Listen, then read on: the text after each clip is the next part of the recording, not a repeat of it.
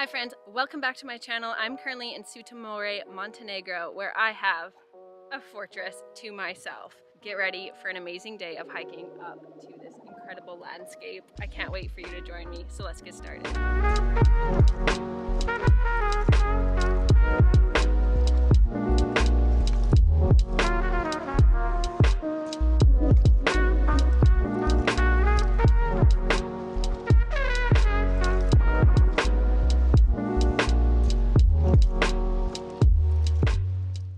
My friends and welcome back to my channel. My name's Anna and I create solo travel vlogs in Europe and today I am in Sutomore, Montenegro. This is just outside of Bar, Montenegro.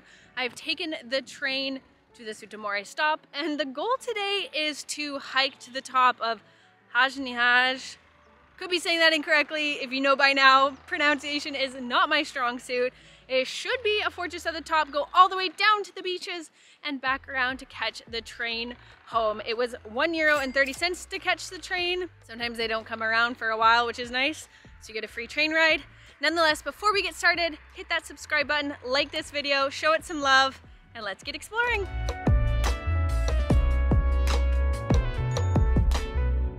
First things first, I have no clue where I'm going. Like I am so lost. I like I actually one, did not do any research. Two, I'm just in a travel mode of laziness. Three, it's a beautiful day, so I don't really care if I'm slow to get out and about. Let's check Google Maps. All right, so inside Google Maps, there is Haj Nehaj hiking trail. We're gonna hop that bad boy in and hopefully walk the right way.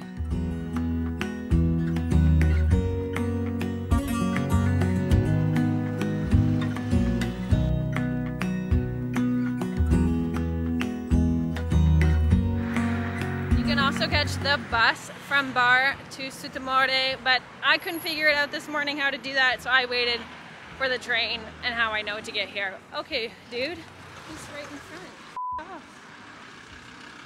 The best way for me to give you directions of where to go is keep going the direction the train was going, so towards Podgorica, and follow the main road. There is a sidewalk which is very nice, but the cars are nuts here. I think possibly that is where I want to go.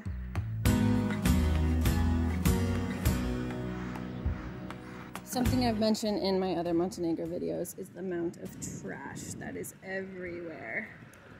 As you can see here, and unfortunately it's going into a waterway and a stream, probably out to the ocean again. All right, if you see that water pump sign, that is your indication to turn left down more of a side street to keep going towards a hike. That took about 14 minutes with filming. So 10 minutes to get to that turn. Once you reach the stop sign, turn right. Let's go.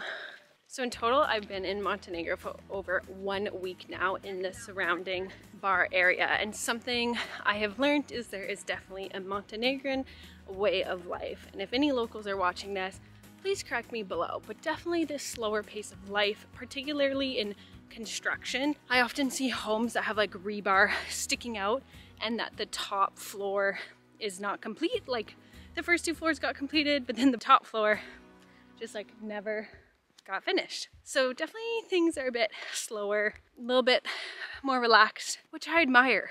Anyway, I'm definitely enjoying getting to walk next to freaking mountains. Makes me happy. If you like the mountains, please subscribe right below. Do you like the mountains? okay, let's keep going, friends.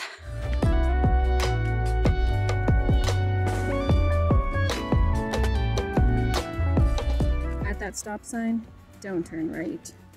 You want to turn to two o'clock and follow this sign so you don't have to make the same mistake I did.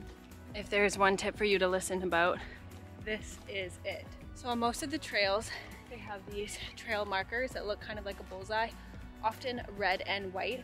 It's a trail marker, so that indicates that you're going the right direction. Never really has like a formal sign. It doesn't say like Montenegrin travel or national park or any of that, but there will be trail signs quite well marked.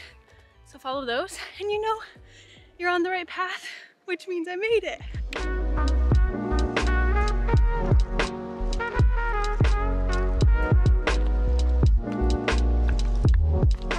Else I forgot to mention is the last two and a half, three days, there has been some insane spouts of rainstorms.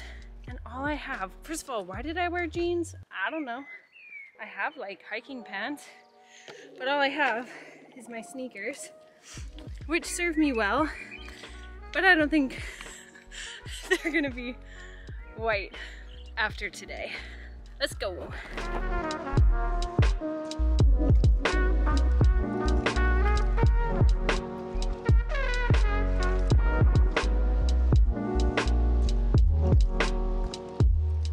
So far so good. I'm just sweaty. I'm really wondering why I wore jeans. also, I think All right, we stopped for a quick camera battery change because I'm always a bad YouTuber and forget to charge my batteries before I leave. Also, sip of water. This is my LARQ water bottle. Not sponsored by them, but I should be. It has been a lifesaver. It has a built-in filter to it. So although I've been drinking the Montenegrin tap water just kind of gives me that extra security that maybe if there's any minerals that are in the water that I'm not used to, it's not even getting like long-term sick, but some people have said they drink the water and they just aren't used to it, so they've gotten sick. So anyway, I've been drinking out of my LARQ and it's been fantastic and great to save a little bit of plastic because there's sure darn a lot of it in this river. Why did I wear jeans? That's the last time I'll say that. this is also the Align Lululemon tank top I've talked about in videos before. It is a game changer. I have three of them packed with me. It's like a tank top and bra in one. Oh no, no! No! I got them. Let's keep going.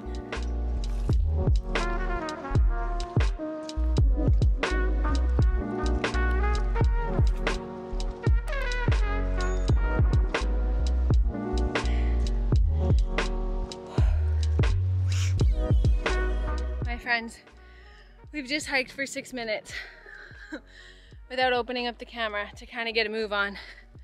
And we're so close to the top. I have seen nobody. There's people at the top. Maybe there's like trolls that live there. It is so easy to follow this trail because there is trail markers maybe every 50 meters.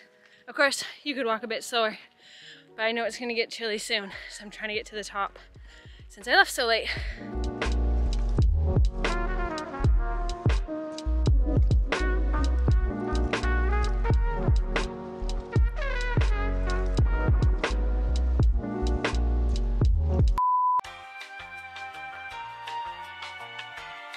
So normally, like other YouTubers, I cut out that walking back bit. You don't want to see how we film, you just want the magic. But I could not help but keep my reaction. Because as we turn this corner, there's a fortress and it kind of comes out of nowhere and it's like, oh, I feel like I'm in Narnia. Is this not one of the coolest things you've ever come to the top of a hike to see? I don't know when this was built. You know me, I'm not like a historian. But I know this was not built with helicopters dropping the bricks and stones down. What is my life right now? Actually, though. Again, one of these like, where am I? What am I doing? And I'm so excited that I get to share it with you. Like, this is why I love filming and making content for YouTube. People keep asking me, and it's because moments like this, I don't think you ever could have thought you'd come to Bar Montenegro Come see a freaking fortress at the top in the middle of the mountains with the sea in the background. so cool.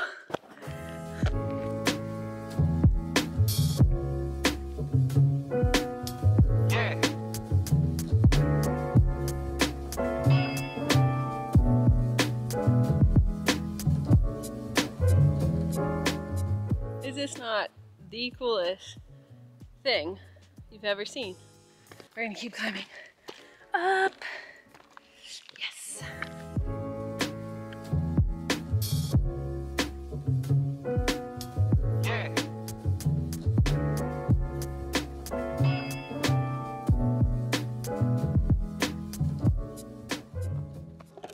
I have to show you this view.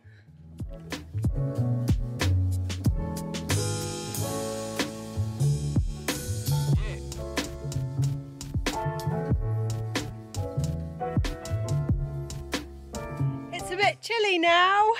I think I better put some layers on before the sweat makes me cold. But there's freaking nobody here. Oh my god, I'm so lucky.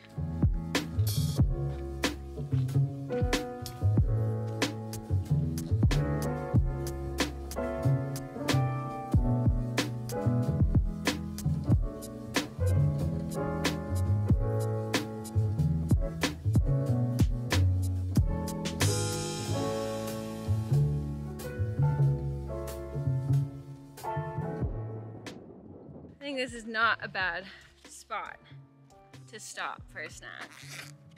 I'm not a fan of heights though, so that's not very fun. It's quite windy too now. So we're just gonna quickly layer back up. Trusted hand-me-down Patagonia to cut the wind. Ooh, that's high. First of all, if you're liking this video, please like it. Literally put a thumbs up below. And when you like a video, or subscribe. It helps me to continue doing amazing adventures like this and your support means a lot to me. It's been so fun to see this community growing, but nonetheless, I want to keep this journey going. I'm becoming a little bit more adventurous. It is so windy, I don't even know if you can hear me, but if you can, uh, I hope you do this hike as well and send me an Instagram DM and let's talk about it and how magical it is. I could stay here for a while. We are hiding behind the rock up here at the fortress. Just had a little granola bar, a little protein bar, but taking my garbage back down. Gonna have a sip of water. And then we're gonna hike the same way we came back down. I think you can hike your way to Zagreb on the other side, but knowing me, I'll get lost. So I'm gonna hike the same way back down and then make my way to the beach. We won't be filming it because I wanna get down pretty quickly, but I'm going down the same way I came up and there will be trail markers on my way down as well to help make sure I'm going down the same direction. I'm still a little bit creeped out that I'm by myself. Honestly, it's been magical. This view is insane. I'm a Canadian Montenegro at the top of a fortress. What? Like that sentence just doesn't seem like it should go together. See you at the bottom.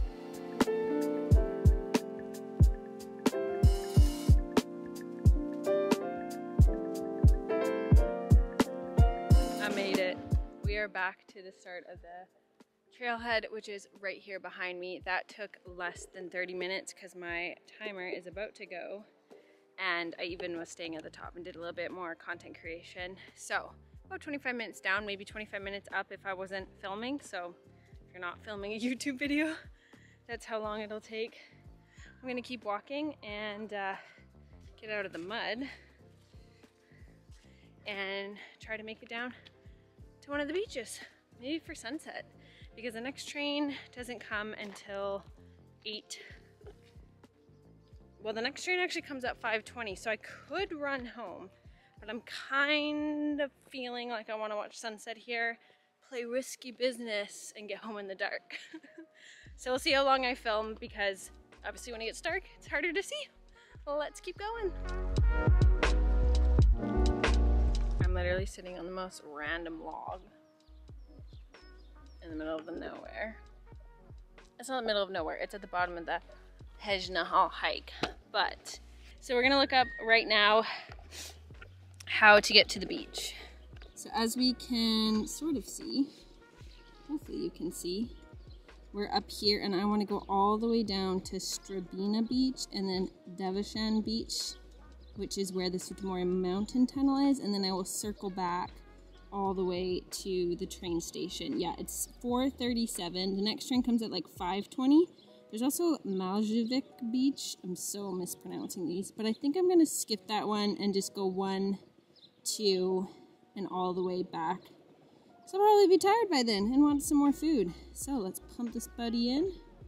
No network connection. Gotta put that eSIM data back on. 14 minutes. Oh, maybe we can do the other one. Oh, everything seems so much closer here. 17 minutes. We can do it. Look at you, sweetheart. You're adorable. Hi. Hi, pumpkins. Oh, you have different colored eyes. You're gorgeous. There are so many dogs in Montenegro and I just want to take them all home. This might be mommy mixed with like a German Shepherd. Like 9.5 out of 10 of the dogs are mutts here and these definitely mutts are, you know, mixed bred. But oh, oh, here come mommy and daddy. Oh yeah, you look like you could be mommy or daddy. Anyway, we are on the way to the beach. And maybe you're gonna come with me.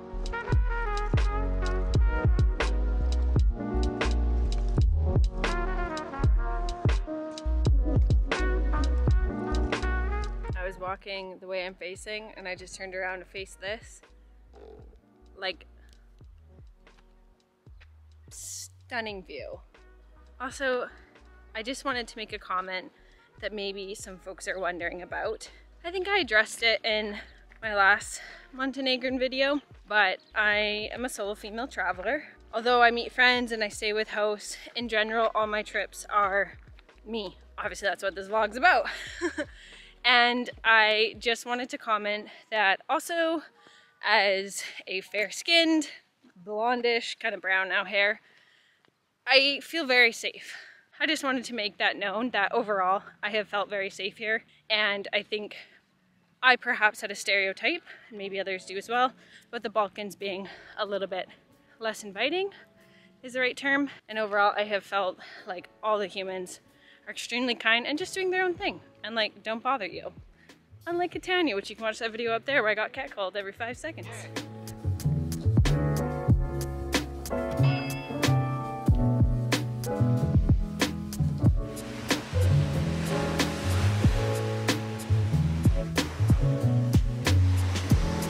I think I will stop for a moment and uh, eat my orange before we go on to the next beach.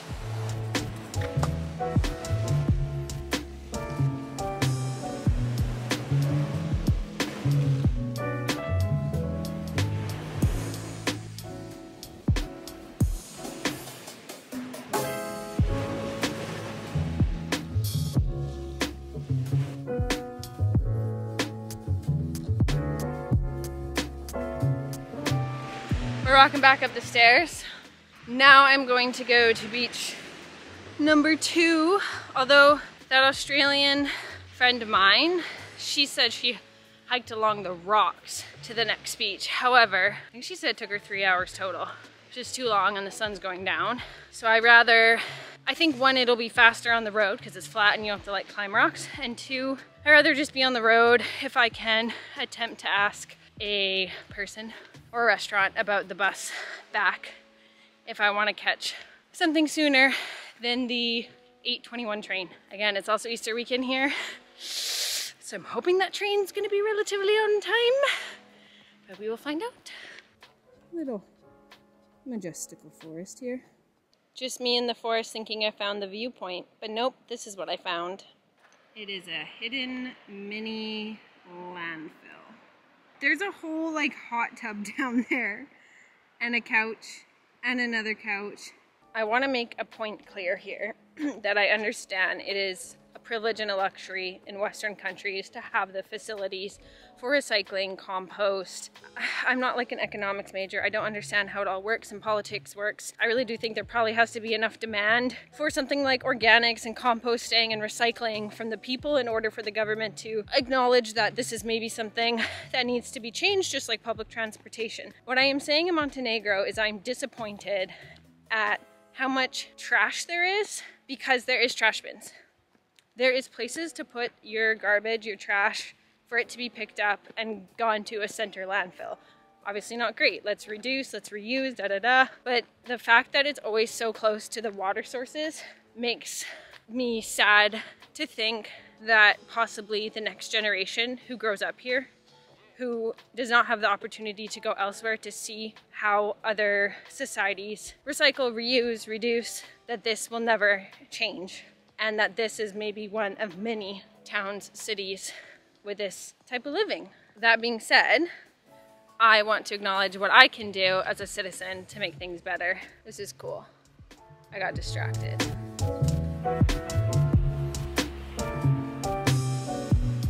I just want to keep exploring and protecting Mother Earth And I acknowledge that I also need to stop flying as much. And should a trainer bus be available, I need to have the bravery to take them and not the anxiety that I will pee my pants on them. We never found the viewpoint here.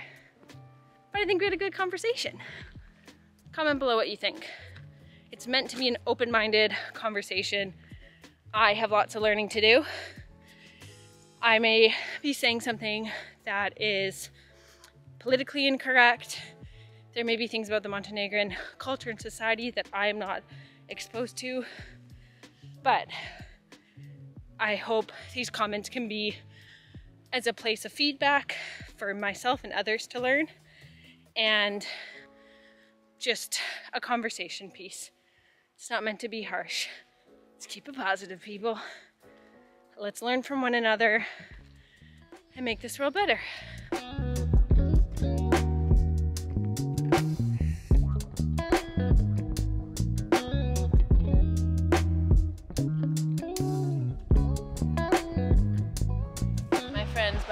We have Strbina Beach, like Starbina, but without the A at the beginning.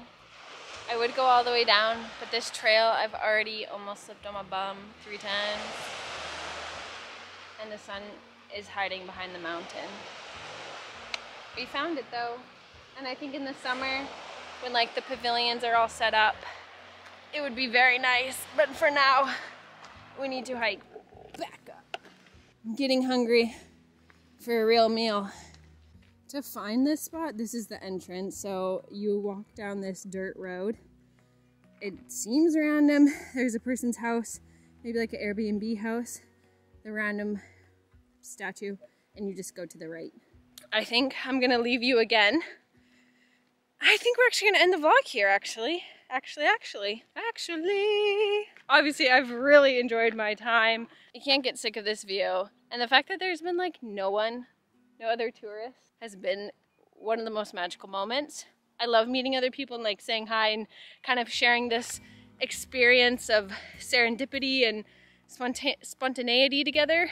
But to have it all to myself, to be able to share it with you and film a little bit easier has been quite the lucky moment.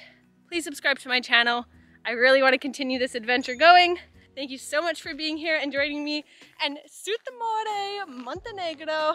We'll catch you next time. Have a great evening.